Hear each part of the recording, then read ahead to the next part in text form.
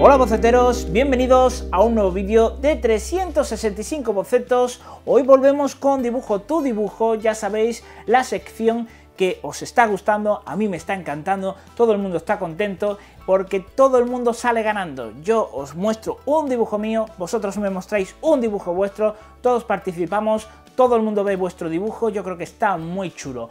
Hoy vamos a coger una de esas cartas que tengo aquí, tengo muchas cartas, por cierto, tengo que ir a correos a recoger las cartas que habrán llegado, que seguro que habrán llegado muchos, y, eh, y voy a ir poquito a poco metiéndolas aquí, en este vídeo.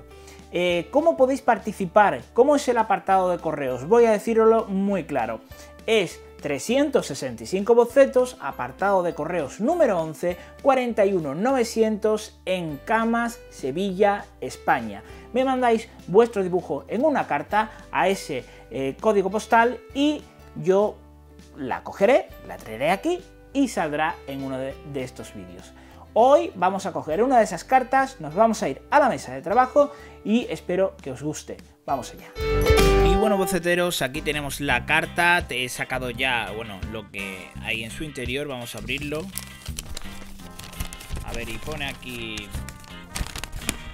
Hola, Jape de 365 bocetos. Me llamo Hugo Adrián Lara, soy de México. Al igual que tú, me encanta dibujar. Uso colores Prismacolor Premier, tengo 11 años, pero no tengo correo electrónico, por eso decidí hacer esta carta. Te dejé un dibujo en el sobre, el cual me gustaría que dibujaras a tu estilo. Ya sabes que lo de dibujo tu dibujo. Si le das la vuelta encontrarás un dibujo de un zorrito personalizado, el cual lo dibujó mi amiga Karen, la cual es una suscriptora de tu canal. Si tienes que contestar muchas cartas no importa, solo quiero que dibujes mi dibujo. Atentamente, Hugo. Haced los dibujos más kawaii. Haced los dibujos más kawaii. Vale, pues vamos a ir cerrando la cartita ver, qué chulo el dibujo. Creo que me ha dicho que detrás tenía el dibujo de un zorrito. No sé si era aquí. Espera, y aquí tenemos, espérate, no sé si era detrás de la carta. No, aquí no hay nada. Entonces el zorrito tiene que estar en el dibujo. Espérate, vamos a ver. Ahí está, ¿lo veis? Ahí está. Bueno, pues este es el dibujo de su amiga y este es el suyo, el de este chico que es como pone héroe y tiene pinta, bueno, es un esqueleto y vamos a dibujarlo y colorearlo con marcadores. Vamos allá.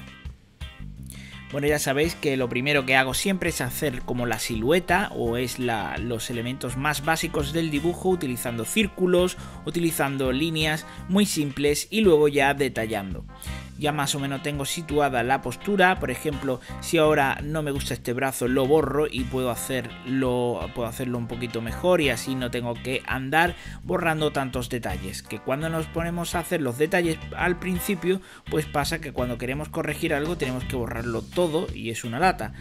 Ahora hacemos ya los detalles cuando tenemos la postura del personaje como queríamos y ya podemos empezar a eso, a detallar poquito a poco. Bueno, el personaje es un personaje simple, no tiene excesivos detalles, así que este va a salir ya prácticamente terminado el boceto y ahora vamos a empezar a rotular. Vamos a darle con los marcadores que tengo de punta de pincel, que por cierto, por cierto, me tengo que comprar unos cuantos más, que estos marcadores no es que aguanten mucho, está muy chulo el trazo, me encantan, pero la verdad que no resisten mucho. Así que tengo que hacerme con más porque luego ya empiezan a verse los dibujos un poco que le falta la tinta. Ya tenemos rotulado el personaje y comenzamos con los marcadores de Winsor Newton, unos marcadores de base de alcohol que podéis encontrar en cualquier tienda o aquí abajo en la descripción del vídeo que os voy a dejar unos enlaces a Amazon para que os podáis comprar estos marcadores súper chulos. Normalmente pongo enlaces a amazon.es para los que viven en España y amazon.com para los que vivís fuera. Eh, ya tenemos coloreada la base de prácticamente todo, falta el pelo. Y ahora cuando terminemos vamos a empezar a darle un poquito de sombra a todo esto. Vamos a colorear la lámpara que lleva. Vamos a darle esa sombra para que tenga mucho más volumen. Y bueno, deciros, aprovechad que... Eh, aprovechar para deciros que ya tengo algunos vídeos preparados para el nuevo canal. Ya sabéis que la semana pasada os avisé y si queréis pasarse al final del vídeo podéis encontrar un enlace o aquí arriba en la i de información. Y bueno, aquí tenemos ya el personaje terminado, espero que os guste y que le deis a like.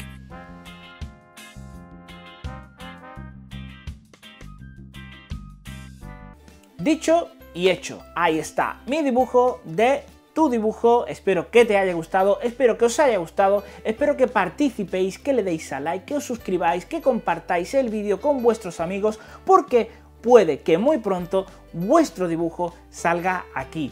Y nada, eh, yo ya me despido, boceteros. Eh, mañana creo que volvemos con más. Hasta luego.